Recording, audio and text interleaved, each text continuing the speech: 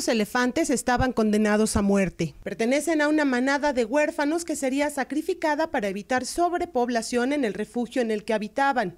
Sin embargo, tres parques buscaron salvar a los pequeños, uno en Estados Unidos, otro en Europa y African Safari, ubicado en Puebla.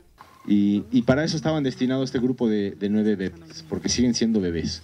Estos elefantitos iban a ser eutanasiados el 15 de febrero pudimos ganar tiempo para que no se hiciera, nos dieron la fecha el 15 de abril, porque sacar permisos para poder hacer este, este rescate regularmente eh, nos lleva entre 8 meses entre 8 a 12 meses. Las edades de los nueve elefantes varían entre 4 y 9 años, mientras que sus pesos van desde los 500 hasta los 1500 kilogramos.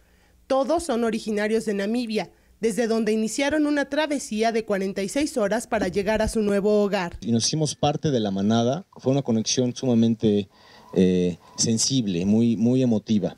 Eh, eso nos permite continuar con eso.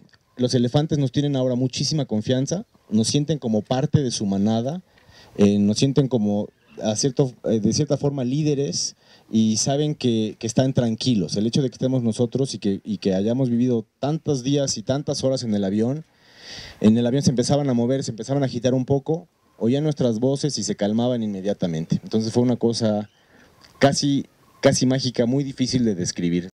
Los elefantes cumplieron con los requisitos sanitarios de importación a México, aunque están en cuarentena para asegurar su adaptación al hábitat. Se difundió que por primera vez estarán en posibilidad de sumergirse completamente en el agua. Será en verano cuando los visitantes de esta reserva podrán contemplar a esta manada en libertad. Con imágenes de Álvaro Morales, Verónica Aburto, Efecto TV Puebla.